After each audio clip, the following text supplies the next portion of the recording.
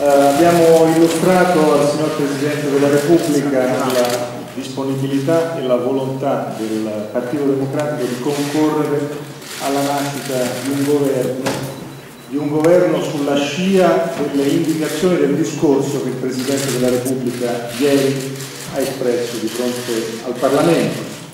E in particolare abbiamo illustrato i due punti Innanzitutto la questione chiave è quella dell'emergenza economico-sociale, il problema del lavoro che non c'è, della disoccupazione giovanile, la questione soprattutto di far cambiare linea all'Unione Europea che fino ad oggi su questi temi non ha dato le risposte sufficienti.